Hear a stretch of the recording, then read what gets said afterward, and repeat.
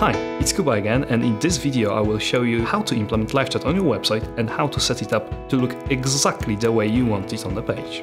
All you have to do to implement the chat on your website is simply adding our JavaScript code to your page. You can do it in a couple of ways. The first way is simply copying and pasting the code into the website, or you can use one of the provided plugins to implement the chat. You can decide on which pages the chat will be available on, we recommend to place it on all pages of your website so all your visitors can access it at any time needed. And this is the one and only moment when you may need some help from someone from your tech team who is responsible for the website. Because from there on, you can do all the live chat customization by yourself in the settings section. The settings section is divided into different subsections, so you can easily navigate through it. The first one is a chat window. Here you can customize your chat window looks. We have two window types that you can choose from. It's up to you if it appears as a little bubble or a rectangular bar on your website.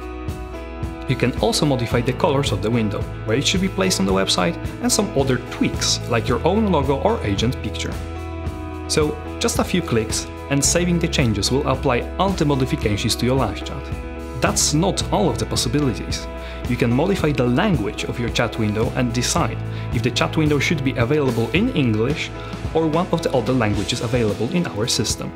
Currently, we have over 50 different languages ready to set. You can also set your own phrases right below the chat language section. The next subsection is the service section. There you can modify the questions that you will ask your visitors before the chat starts. Here we have a pre-chat survey. As you can see, you can easily edit the questions with a few clicks only.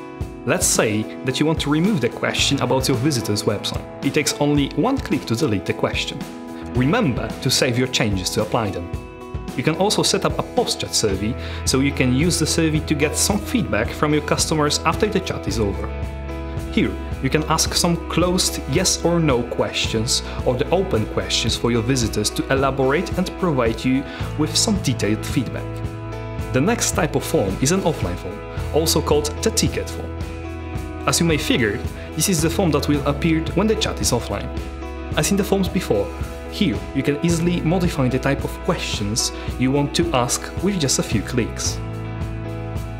Another section available here is the engagement section, which is quite an important one as it will help you engage visitors to talk to you you can set up automated greetings that will trigger a chat based on specific actions your customer performed on your website.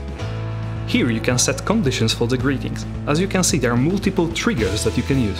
For example, you can trigger your greetings only on your pricing page, or only for the visitors that visit your website for the first time.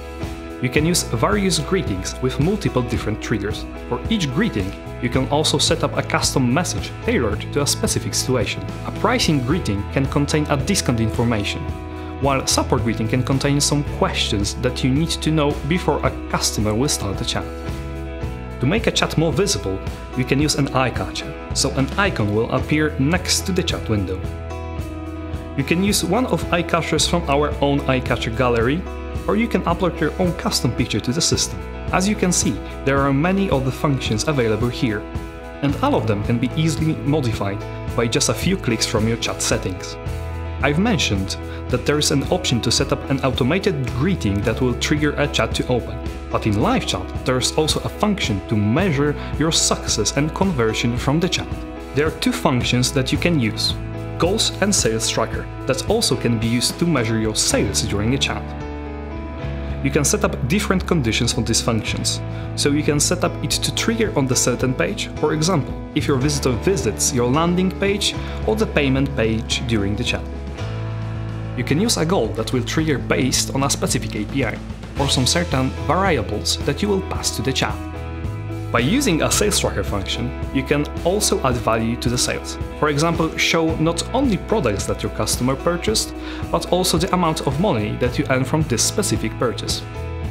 For the e-commerce function, there are also some reports, which I'll talk about in the next video. That concludes our setup functions. As you can see, we have a lot of features that you can use. If you got some questions, remember that our support team is available for you 24-7 and you can start a chat with them from the website or directly from the live chat application.